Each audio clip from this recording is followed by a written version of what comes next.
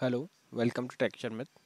In this session, we will discuss one more option from the Access Client toolbar. So for that, I will take my mouse cursor to that particular option, which is Manage DB2 for iDatabase. So through this option, you can manage your database using this uh, option. So let me show you one file first. So if I go and check my object work obj in QGPL, which is system library and my file name is emppf so this is the file that we have stored in our system library and now we will use this option to manage this file okay? So just simply click here. So once you click here it will one it will open one window for you. There it uh, you can do some selection and there are various functionality that you can perform uh, means there are many operations we can perform to the database so we have to explore those all area and then we can use it. So you can expand this pub 400 because we are using public server. So just expand this. Then from here you can expand this schemas. So once you expand this it will show two libraries which is games 400 uh, pub 400 library and a qgpl system library. So just expand this qgpl here you will find all objects there are multiple options and multiple operation that we can perform like all we can check all database object alias column mask constraint function global variables indexes journal receivers. If you want to check information regarding journals you can check here. Journals procedure row permission sequences SQL packages, tables, triggers, type, views, XML schema repository, all information you can fetch from here for example uh, uh, there like as i told you there are many things we we are not supposed to com- uh, cover all these options in one session. So we will uh, discuss few things and then later as per requirement we will explore these options okay? So for now i will click here on all database object. Now it will show all the objects which resides in this qgpl library. So i will sort this with owner name so that i can access my object now I will go and look for my library my owner. Here it should show Sharmit because we have created an object with Sharmit so yeah here it is. Okay? So once you select this uh, PF or whatever the thing you are checking for just click here right click then it you will see more options. First one is definition generate SQL query and run SQL script journaling so you can find all the information related to journaling here. View journal entries. If you want to check for all journal entries you can check here. Logs logged record permission reset users count statistic data. Select for compare. You can compare as well if you have two objects you can compare that object as well. Comments index advisor. Okay. And then we have work with object like you can perform these operations you can check uh, query table data. If you want to clear the data of your physical file you can clear from here itself. Reor we can reorganize it. We can truncate the file and so many options are there. Like for new we can add new alias to this table column mask index row permission trigger as well.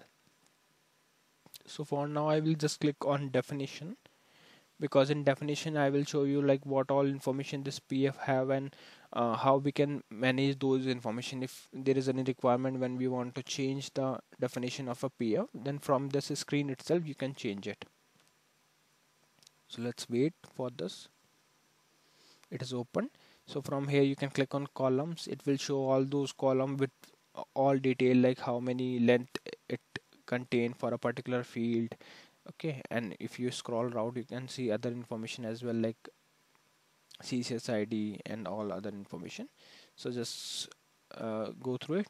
And if you want to modify any of the information just select that particular thing click on definition again and then it will open another table uh, screen where you can perform the modification. So here from here you can select the like field as it is already taken system name is taken from type. If you want to change the type you can ch change from here. Then length is there right? And default value you can set generated value you can set heading. So these options you can check. And if you want to add new field you can simply click here on add and it will add a new field for you. Similarly we have another tab for key constraint foreign key constraint check constraint materialize query partitioning. So these things you can explore when you are working with these particular area. So that's why I told you that uh, we will explore one by one whenever we are working on these options. At that time we will come again to these options and we'll explore it. Okay? For now just we are giving one demo like how these options we can uh, navigate and explore as per our requirement. Similarly if you click here on functions it will show all the functions constraints right so these things we can explore. Another if if I go and expand this option which is database maintenance then it will check other things like check pending constraint db2 mirror resynchronizations index build index rebuild table alter table reorganization transactions. So for these two options you need authority which we don't have which we don't have because uh, of uh, we are working on public server. So and also uh, work uh, with proper responsibility if you are working on public server you you should not uh, um, change or impact any other thing which is which are not supposed to do okay? So please take care of this thing and only use your own object in order to do some modification and in order to change something okay? So yeah so these are the all options that we can explore from this option and um, in in case of preferences you can click on preferences. You can select the naming convention uh, either as per the SQL or as per the system. In view you will find some other options like refreshing the data. Actions you can see these are the actions okay? And run SQL script. This this option is separate thing so we will discuss in detail when we were we were discussing well at the time when we were we will discuss this thing okay?